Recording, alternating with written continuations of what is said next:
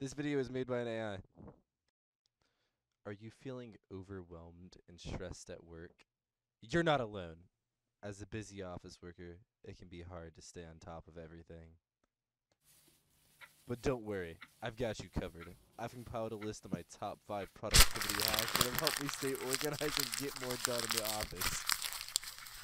And yes, I promise, there will be jokes.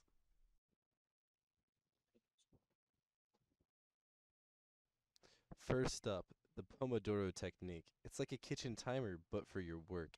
Set a timer for 25 minutes and focus on one task.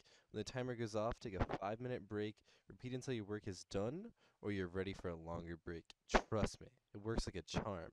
It's like taking tiny little productivity vacations.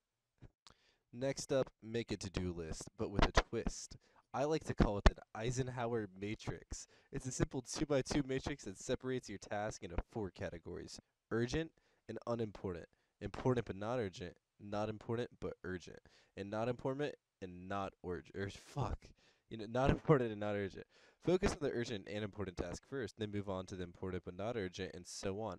It's a great way to prioritize and focus on what truly matters. Number three, minimize distractions with apps like Freedom or Cold Turkey.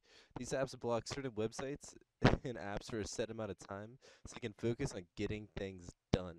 It's like putting your phone in a drawer, but without the fear of missing an important call from your mom. Fourth on the list, the two minute rule. If a task will take less than two minutes to complete, do it right away. It might seem small, but it'll add up over time. Plus, it's satisfying crossing things off your to do list, pussy.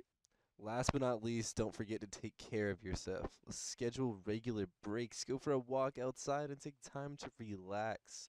When you are feeling refreshed and rejuvenated, you'll be able to tackle your work with renewed energy and focus. Also, if you're feeling overwhelmed and stressed, it's probably time to take a break. So there you have it. My top five productivity hacks for busy office workers. Give them a try and let me know how they work for you. And remember, a little bit of humor can go a long way to get through a busy day.